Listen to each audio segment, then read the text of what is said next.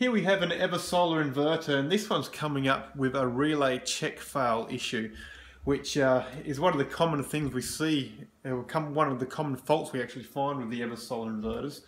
And so what it does is it'll keep trying to reboot itself. It's just uh, starting the, the restart process here and it'll count down to zero and then it'll try and restart again. So see it's just at 46 seconds at the moment. So uh, as I said, it is a, a, quite a common problem with the Eversolar inverter. It is something which would be covered under warranty. So the standard warranty for an Eversolar inverter is a five-year warranty. So if your inverter was installed within the last five years and you have proof of purchase, then you certainly should be able to make a warranty claim with Eversolar uh, to get it replaced under warranty. The only problem with that is Eversolar do tend to take quite a while to actually get a replacement inverter to you. So you may be looking at a month or so without your without a solar power system working, which uh, obviously is not the best. So here we see it's just at uh, four seconds.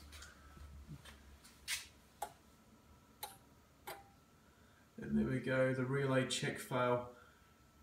So that's an internal relay inside the inverter which has failed pretty much and uh, what the system will do is it will just reboot in a few seconds and just re, uh, retry the startup procedure. So if, if you are intending to make a warranty claim with Eversolar for this, a couple of things we will need, as I mentioned before, we will need proof of purchase of when it was actually originally installed, and we will need the model number of the inverter, which you can find on the side of the inverter here. This is a this one here is an Eversol TL2000AS and we will need the serial number of the inverter as well which we can find just down here. Now if your inverter is out of warranty or you just for some reason don't want to try and get it fixed and, and wait a month or so to, uh, without your system working, uh, well the, the next best option is to get the inverter replaced with a good quality unit which has got a full warranty, full factory warranty.